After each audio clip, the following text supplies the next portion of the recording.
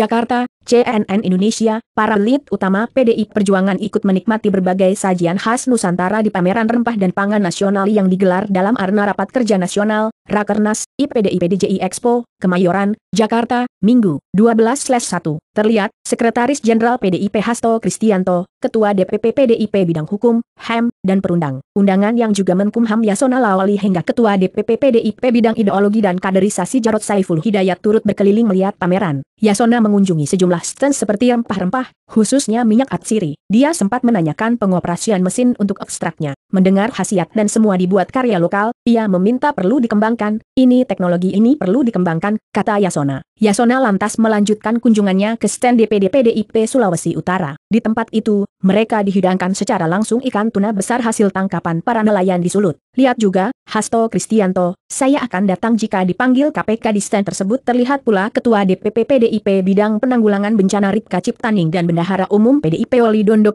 I, yang juga Gubernur Sulut. Semua lead PDIP itu menikmati sajian ikan tuna. Ada tuna yang masih diolah mentah layaknya sashimi, bahkan ada tuna yang diolah secara bakar, lagi bagus ya, ikan tuna, sekarang, tanya Yasona kepada Oli, yang kemudian dijawab dengan anggukan kepala. Lihat juga, KPK masih buru politikus PDIP Harun Masiku semuanya menikmati ikan tuna yang disajikan. Bahkan, Oli sempat memberikan Yasona tuna sambal khas Manado di piringnya. Sampailah saat ikan tuna datang, Yasona lantas berkata, nikmat mana lagi yang kau dustakan, kata Yasona, gambas, video CNN, di tempat yang sama, Hasto turut menikmati hidangan soto khas Banjar. Ia menyatakan soto Banjar menunjukkan salah satu dari banyaknya keanekaragaman pangan yang dimiliki Indonesia. Hasto menyatakan PDIP ke depannya akan mempelopori jalan kemakmuran bagi masyarakat Indonesia melalui tiga pilar, yakni penguasaan ilmu pengetahuan, teknologi, dan riset, sehingga kami harapkan apa yang kami tampilkan ini bisa menggelorakan semangat bahwa kita bangsa yang besar, kita bangsa yang hebat, kata Hasto. Diketahui, PDIP menampilkan pameran seluruh kekayaan rempah-rempah yang dimiliki Indonesia beserta pengelolaannya dengan teknologi termutakhir dalam gelaran Rakernas selama tiga hari ini. Lihat juga, pengamat anggap ada celah blunder OT KPK, RZ Ersur.